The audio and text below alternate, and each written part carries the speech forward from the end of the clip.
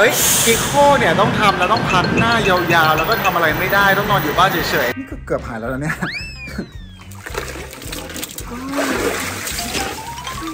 เรียกว่าการทำพิโคในวันนี้ไม่ได้ส่งผลต่อการดื่มการปาร์ตี้ของโฟมเลยนะครับ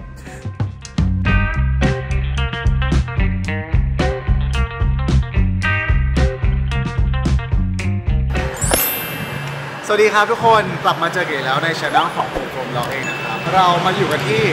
นอกสถานที่ที่ตึก ICS นั่นเอง ทุกคนได้ยินไหม ซึ่งในวันนี้นะครับผมเราก็ไม่ได้มาเล่นๆนะเพราะว่าวันนี้เนี่ยเราก็จะมาทำหน้ากันแล้วเช่นเคยนะครับผมก็จะพาทุกคนมาทำโปรแกรมที่มีชื่อว่า Pickle Way ที่กังนำคลินิกนั่นเอง ซึ่งในคลิปนี้เนี่ยผมก็จะพาทุกคนนะครับ มาตามติดชีวิตของโฟมเองกัน เพราะว่าการที่จะทำพิ c โคเนี่ยบอกเลยว่า หลายๆ คนก็จะคิดว่าแบบเฮ้ยพิ c โคเนี่ยต้องทำแล้วต้องพักหน้ายาวๆ แล้วก็ทำอะไรไม่ได้ต้องนอนอยู่บ้านเฉยๆใช่ไหมแต่ว่าอย่างเราแล้วเนี่ยกิจกรรมแน่นมากบอกเลยว่าวันนี้เนี่ยพิโคทำอะไรเราไม่ได้แน่นอน ไปดูกันนะครับว่าการทำพิโคในวันนี้เนี่ยจะเลิศแค่ไหน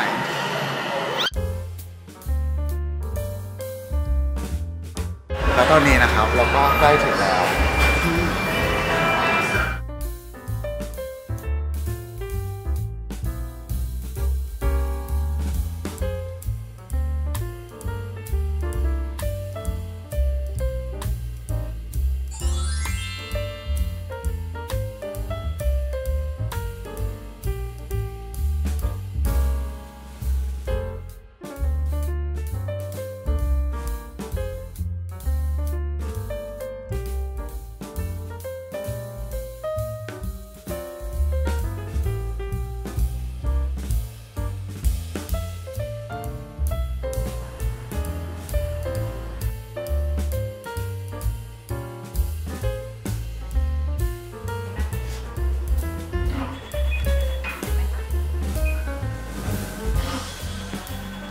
ไม่ได้เจ็บมากเท่าที่เราคาดหวังไว้นะครับผมก็รู้สึกดีมาก เพราะว่าการที่มันแบบแดงประมาณเนี้ยเราก็รู้สึกว่ามันก็น่าจะใช้ชีวิตต่อได้หรือว่าไปทำอะไรได้นะครับ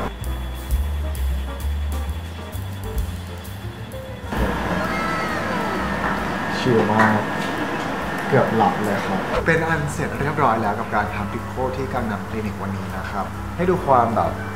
ความชมพูระเรื่อเหมือนแบบว่ามาร์กหน้าเบาๆอะไรอย่างเงี้ย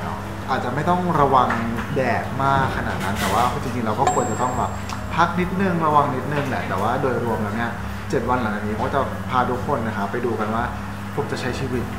ได้ตามปกติได้ไหม เพราะว่าคิดว่ามันก็ไม่น่าจะเป็นปัญหาอะไรมากนะครับ แล้วก็อันนี้เนี่ยก็น้องเขาก็คือเป็นน้ำแข็งที่คุณหมอเนี่ยให้เรามาเอาไว้แบบประคบหน้าเวลาที่หน้ามันจะแบบมีความร้อนนิดนึง แล้วก็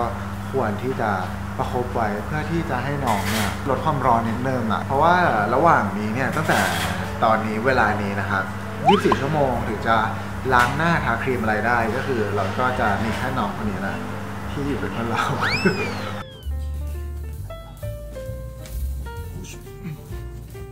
เปลี่ยนชุดเสร็จแล้วนะครับ ตอนนี้ก็เตรียมพร้อมออกไปจิมที่เรารักนี่ก็เกือบหายแล้วนะเนี่ย รู้สึกแบบว่าเออเหมือนปกติมากเลยใช้ชีวิตได้แบบแทบจะไม่ต้องทำอะไรเลยนะครับอืม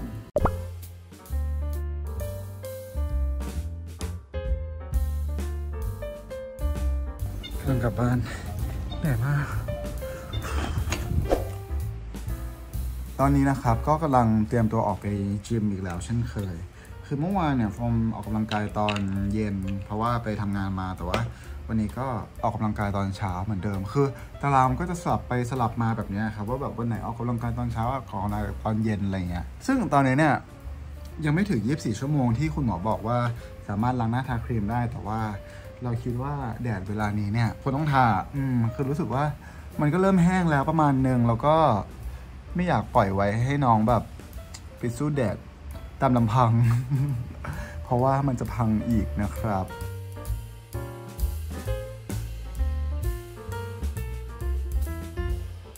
กำลังจะ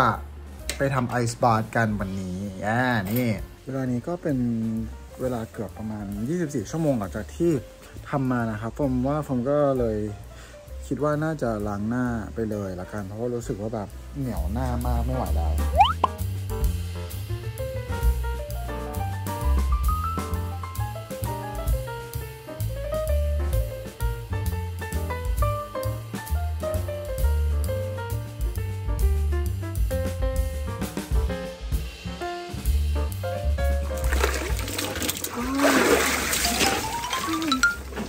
ร็จแล้วเราก็ต้องมาวอร์มร่างกายโดยการกระโดดกระโดดแล้วก็กระโดดตบนิดนึงนะครับ เพื่อที่จะทำให้ร่างกายมันอุ่น ส่วนแพลนวันนี้เนี่ยก็ไม่น่าจะมีอะไรมากนะครับ เราอาจจะมีไปคุยงานนิดหน่อย ไม่ได้หยุดเลยเนาะนี่วันที่สองเองนะเนี่ยเออเดี๋ยวเจอกันตอนเย็นนะครับ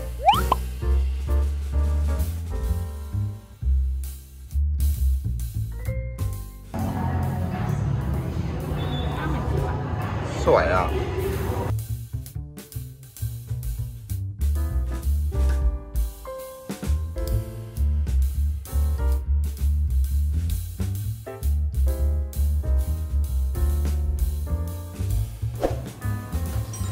วันนี้วันที่ 3 นะครับ ก็จะมาอัปเดตผิวหน้าหลังทำพิโคกัน ก็ตอนนี้เนี่ย แทบจะหายแล้วเนาะแค่รู้สึกว่ามันยังมีบางจุดที่เหมือนเป็น เป็นรอยที่กำลังจะแห้งนะคะ เป็นแบบอย่างเงี้ยผดๆแล้วก็มีความเหมือนแบบเริ่มกลายเป็นจุดคล้ำๆนิดนึง แต่ว่าคิดว่าหลังจากนี้เนี่ยน้องก็น่าจะเริ่มแห้งแล้วก็เริ่มดีขึ้นนะครับผมส่วนบริเวณตรงจมูกอย่างเงี้ยก็ยังรู้สึกว่ายังเป็นเหมือนแบบแผลที่ยังสักๆอยู่นิดนึงนิดๆไม่เยอะมาก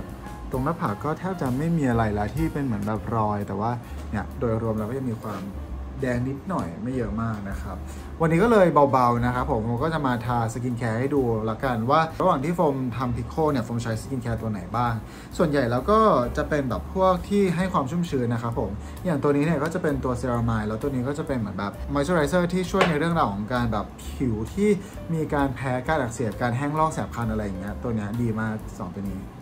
ใช้คู่กันประมาณนี้แล้วก็ครีมกันแดดจบเลยนะครับ มอร์นิ่งเช้าวันที่ 4 นะครับ ในวันนี้ก็ไม่ค่อยมีกิจกรรมไปไหนมากแล้วแหละ รู้สึกว่ารอยที่เป็นเหมือนแบบรอยช้ำจากการยิงเนี่ยก็เริ่มหายแล้วที่มันเป็นเหมือนแบบ เมื่อวานยังเป็นมีความเข้มๆอยู่เนาะตอนนี้ก็เริ่มกลายเป็นสีออกชมพูนิดหน่อย แต่ก็ยังไม่ร้อยเปอร์เซ็นต์นะครับฮัลโหลครับทุกคน สวัสดีวันแฮงก์ๆนะครับ เออก็คือว่าเมื่อวานนี้เรื่องราวเกิดขึ้นมากมายนะครับ ก็กลางคืนเราก็ออกไปปาร์ตี้มานิดหน่อยนะครับเพราะว่ามันเป็นแบบ Friday night เรียกว่าการทำ Pico ในวันนี้ ไม่ได้ส่งผลต่อการดื่มการปาร์ตี้ของโฟมเลยนะครับ ก็อะให้ดูหน้าช่วงนี้ก็คือรอยสิวอะไรอย่างเงี้ยก็คือมีความ กริบมากขึ้นนะครับ ก็เอาเป็นว่าวันนี้วันที่ 5 ก็ถือว่าไม่นับแล้วกันนะ เดี๋ยวจะมาเจอกันอีกทีวันที่ 6 เลยแล้วกันนะครับ ไปแล้ว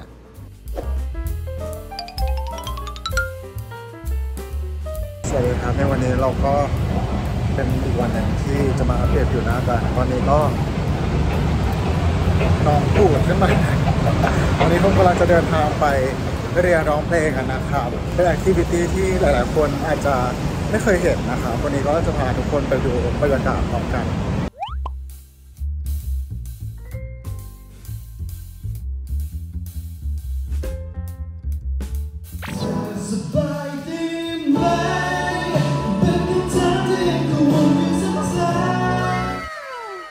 และแล้ววันนี้ก็มาถึงนะครับผมวันที่ 7 ของการทำเลเซอร์ที่มีชื่อว่า PicoWay ที่ Gangnam Clinic ของโฟมเองนะครับ เอาละในวันนี้เนี่ยโฟมก็จะพูดสรุปทุกอย่างเลยว่าเออมันอะไรยังไงเกิดอะไรขึ้นบ้างนะครับผมเจ้าเครื่อง Pico เนี่ยก็จะมาช่วยในเรื่องราวของการกระตุ้นคอลลาเจนและอิลาสตินใต้ผิวหนังนะครับโดยเจ้าเครื่อง PicoWay ตัวนี้เนี่ยมันก็จะเป็นเครื่อง Picoที่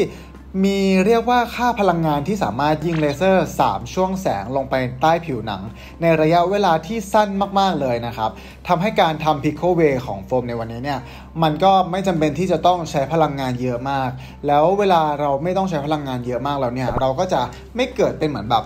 เลือดสาดที่เหมือนแบบเออที่ที่ทุกคนอาจจะเคยเห็นกัน แล้วก็ที่โฟมเองเนี่ยก็คาดหวังว่ามันจะเป็นเหมือนแบบเออเลือดสาดเยอะๆอะไรอย่างงี้ใช่ไหมครับเพราะฉะนั้นแล้วเนี่ยในการพักฟื้นของเราที่ผ่านมา 7 วันเลยนะครับผมก็อย่างที่ทุกคนเห็นก็คือโฟมเนี่ยสามารถแบบใช้ชีวิตได้ปกติตั้งแต่วันที่แบบเออวันถัดมาแล้วอะนึกออกว่าก็รู้สึกแบบโอเค รู้สึกประทับใจเหมือนกันอะแล้วเดี๋ยวจะอัปเดตผิวหน้านะตอนนี้ให้ดูวันที่ 7 แล้วนะครับที่โฟมไปทำมา ก็ต้องบอกก่อนว่า ที่คุณหมอแจ้งมาเนี่ยเเวลาที่เรายิงไปแล้วใช่ไหมครับ เขาก็จะไปสะกิดไอ้พวกสิวที่กำลังจะเกิดขึ้นอย่างเงี้ย มันก็จะทำให้โฟมเนี่ยมีเหมือนแบบเป็นพวกรอยสิวหรือว่าสิวที่แบบกำลังจะปุดปุดๆขึ้นมานิดหน่อยนะครับผม อันนี้ก็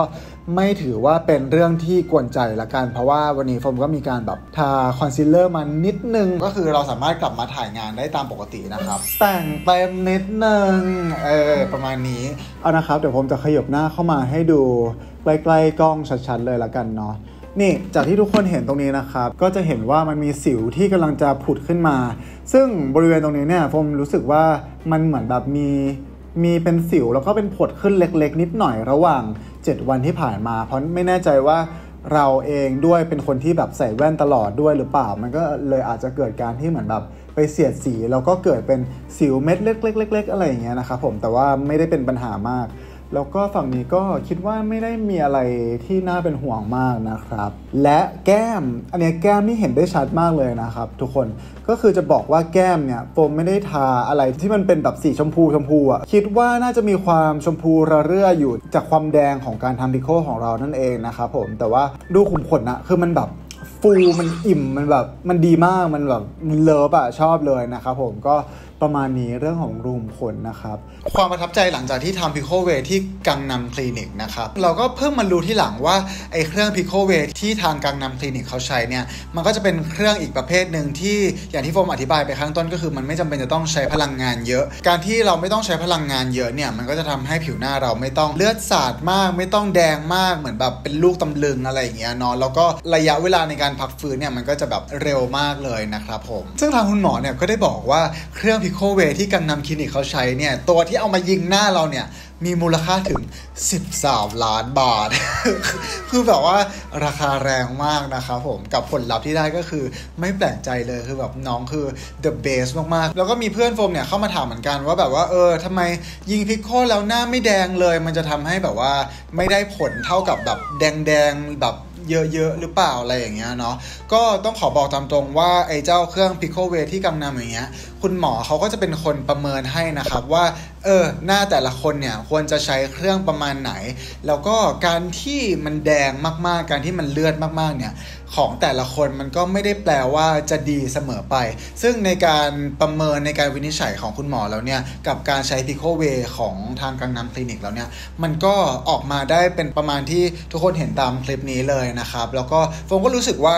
มันก็ได้ผลลัพธ์ที่แบบ เออ ก็ดีจริง ๆ โดยที่เราไม่จำเป็นจะต้องแบบแสบหน้าแล้วก็เลือดสาดแล้วก็แบบว่าเออเหมือนเหมือนที่เคยผ่านมาอะไรแบบเนี้ย ก็รู้สึกว่าแบบเออถ้ามันเจ็บประมาณนี้เนี่ย เราก็คงจะชอบพิโคมากขึ้นอะไรอย่างเงี้ย เพราะว่าแบบเออส่วนตัวเราก็จะกลัวนิดนึงไงเวลาจะต้องทำพิโคอย่างเงี้ยก็จะแบบว่าเออมันต้องมีเวลาพักสักแบบ 7 วัน 10 วันแล้วเราจะไม่ได้ทำงานเลยอะไรอย่างเงี้ยซึ่งนานๆนานๆทีเนี่ยเราจะได้ได้ทำทีนึงอะ่ะซึ่งถ้าใครสนใจนะครับผมทางกังนำคลินิกเนี่ยเขาก็มีโปรโมชั่นมาฝาก โดยการลองทำพิโคครั้งแรก ไม่ว่าจะลูกค้าเก่าหรือลูกค้าใหม่เนี่ยก็ทดลองทำได้เลยเพียงแค่ครั้งละ 999 บาทเท่านั้นนะครับ และนอกจากพิโคแล้วเนี่ยเขาก็ยังมีบริการหลาย ๆ รูปแบบเลยนะครับ ที่เข้าได้ถึงทั้งทุกเพศทุกวัย แล้วก็ราคาก็น่ารักจับต้องได้นะครับ ถ้านึกถึงเลเซอร์ต้องกังนำคลินิก เพราะที่กังนำคลินิก ใครๆก็สวยได้ เอาเป็นว่าถ้าใครสนใจเนี่ย ก็ลองไปติดต่อสอบถามข้อมูลเพิ่มเติม ความสวยความเป๊ะความหล่อความปังได้เลยที่กังนำคลินิกนะครับสำหรับในวันนี้เนี่ยโฟก็ต้องขอจบคลิปที่เราอยู่ด้วยกันมา 7 วันเพียงเท่านี้นะครับผมก็เดี๋ยวจะมาเจอกันใหม่คลิปหน้าละกันเนาะจะพาไปทำอะไรกันอีกก็ติดตามช่องของโ o โฟมบล็อกไว้ด้วยนะครับ ไปแล้วบ๊ายบาย